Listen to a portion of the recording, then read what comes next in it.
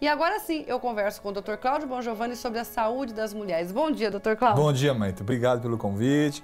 Bom dia, seus, seus telespectadores. Estou à disposição para o que você precisar. É um prazer sempre ter você aqui. Olha só, nós temos duas perguntas que com certeza né, vai dar muita coisa para a gente falar sobre esse assunto. Então, olha só. Quem infarta mais, Dr. Cláudio, o homem ou a mulher? Muito bem. Posso responder já? Já. Já. Quem infarta mais, o homem ou a mulher? Então a gente tem que fazer uma divisão mais ou menos de tempo. Enquanto a mulher menstrua, a proteção dos hormônios femininos, os estrógenos, eles protegem a mulher contra, contra algumas doenças vasculares. O estrógeno ele tem o efeito antiagregante plaquetário. O que, que é isso? Ele deixa o sangue ficar um pouquinho mais fino, ele dilata os vasos sanguíneos. Então, a mulher, enquanto ela menstrua, a incidência de doença cardíaca, de doença coronária, é um para três, ou seja, uma mulher para três homens. Então, o sexo masculino sofre muito mais doença cardíaca até os 50 anos, mais ou menos. Depois de 50 anos que a mulher entra na menopausa, a incidência se iguala. Se iguala. E nos últimos 20, 30 anos, que a mulher conseguiu a jornada tripla, que ela é mulher, que ela é mãe. Que aí você acha que, que já vai responder Isso, a segunda aqui. Isso, exatamente. Então, a doença cardíaca até os 50 anos, ela é predominantemente masculina. Depois dos 50 anos, ela se iguala. É verdade que aumentou e muito a incidência de infarto nas mulheres? É aquilo é que, que você estava falando, falando, antes da gente chegar aqui. É isso mesmo. É, uma das principais causas é que a mulher começou a ocupar um espaço que ela não ocupava. E o nível de estresse da mulher aumentou muito. A mulher começou a fumar. Partindo desse princípio, o estresse é o maior causador É um dos fatores de risco para a doença cardíaca. É genética, mais os fatores de risco, nível de colesterol, pressão arterial, genética, obesidade, sedentarismo. A doença cardíaca é teu padrão genético mais o meio ambiente. Então a mulher, é, uso do anticoncepcional, ocupar cargos na sociedade, nível de estresse, aumentou a incidência de doença cardiocirculatória na mulher. E, e como eu estava te falando também, é, a doença cardíaca na mulher, ela tem uma mortalidade maior. O infarto na mulher é pior do que o infarto no homem. Doutor Cláudio, é, e as pessoas, agora eu vou falar no geral, não só nas mulheres, né?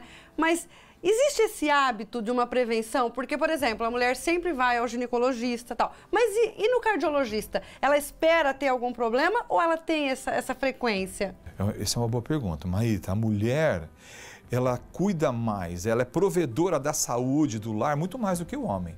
A mulher vai no ginecologista, a mulher vai no cardiologista, ela adere ao tratamento, ela, você, você sugere uma proposta de mudança de estilo de vida, você sugere, você sugere uma terapêutica, a mulher adere. Ela leva o homem ela leva o homem. Então a mulher, do ponto de vista de gestão de saúde, ela é muito melhor do que o sexo masculino. O homem ainda ele é reticente, apesar que isso está mudando. Mas a mulher, ela procura, é, no consultório, assim, é, você tem muito mais mulher buscando prevenção primária. Ó, eu vim para fazer um check-up do que o homem.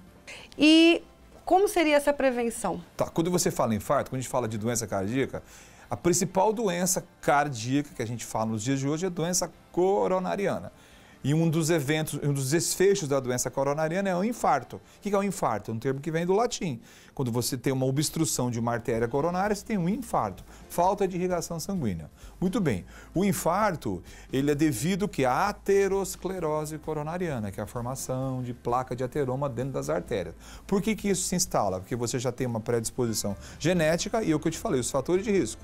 Hipertensão, sedentarismo, tabagismo, obesidade, estresse, isso tudo somado entre si faz com que as plaquinhas de gordura dentro das coronárias elas vão aumentando e uma hora forma um coágulo em cima de uma placa e a pessoa tem um infarto.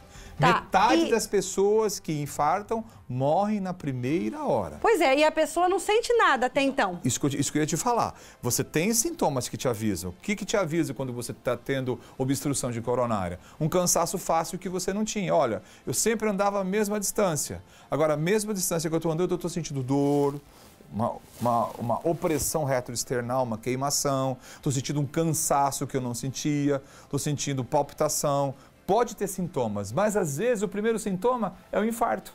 E do infarto, metade morre na primeira hora. É a principal causa de morte súbita no mundo moderno. Então, existem sintomas premonitórios que você tem antes de, antes de ter o evento cansaço, dor no peito, palpitação, falta de ar. Agora, você tem que inserir num contexto. Se você tem histórico familiar, olha, você tem familiar direto que tem doença cardíaca, você é fumante, você é diabético, você é hipertenso, quer dizer, a possibilidade de doença cardíaca em você é grande. Então, mesmo sem sentir nada, você tem que fazer um, um acompanhamento periódico. Agora, fique de olho nos sintomas que você não sentia e começou a procurar, começou a ter, procuram ajuda. E quantas coisas você pode prevenir, né? Sim, você só não consegue atuar na tua carga genética, Sim. Teu, na tua estrutura genética. Todos os outros fatores de risco são fatores modificáveis. Você consegue atuar sobre eles. Bom, para a gente encerrar então, uh, dá uma explicação assim de como seria uh, quando a pessoa está tendo um infarto, entendeu? Para alguém que esteja próximo, como é que pode perceber e como ajudar? Ok uma dor lancinante, uma dor forte no tórax, uma dor em aperto. Você, você vê a pessoa, ela está pálida, ela está suando, ela está sentindo mal-estar. Ela tem que ser levada para um serviço médico de urgência. A única ajuda que você pode Nada dar mais. é levar para um serviço médico de urgência. Lá chegando, ela vai ser diagnosticada e vai ser medicada. Então, do ponto de vista é, fora do ambiente hospitalar, você tem muito pouco a fazer para um infarto. Agora, para parada cardíaca, existem várias ligas e em países de primeiro mundo você treina grupos na comunidade, chama BLS, Basic Life Support. Você treina pessoas para quando você tem uma parada cardíaca, essa pessoa ser bem atendida até chegar um serviço de urgência. Então, na suspeita de um infarto, de uma dor no peito, muito forte, acompanhada de palidez, sudorese, náusea, vômito. O braço, eu sempre Pode irradiar. Pode irradiar para a face interna de braço esquerdo ou braço direito, mandíbulas, estômago ou região dorsal. Mas o mais comum é face interna do braço esquerdo. Só que é uma dor muito forte, acompanhada com sintomas de a pessoa fica branca, a pessoa transpira, transpira. e pode ter náusea e vômito e pode até ter uma síncope. Bom, mais uma vez, muito obrigada por você estar aqui.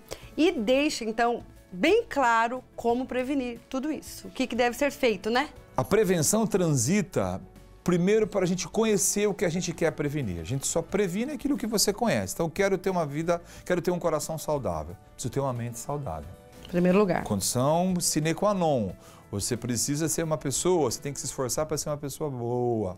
Como é que é ser uma pessoa boa? Sorrir, amar, perdoar, ser sereno, ser tranquilo. Não precisa viver de extremos. Hoje em dia a gente vive num mundo de muito. Ó, tem uma dieta aqui, tem uma dieta lá. Use o bom senso. O bom senso Procura né? o caminho do meio para você nem transitar nem por um lado nem por outro. E faça exames periódicos. Procure um profissional, procure um clínico, procure alguém. Muito mais se você tiver fator de risco, se você tiver histórico familiar, se você tiver história de morte súbita na família. Então procure se monitorar, procure se é, prevenir, conhecendo aquilo que você tem, aquilo que você é e as armas que você tem para prevenir essa doença, que é a principal causa de morte no mundo moderno, as doenças cardiocirculatórias. Bom, mais uma vez, muito obrigada, viu?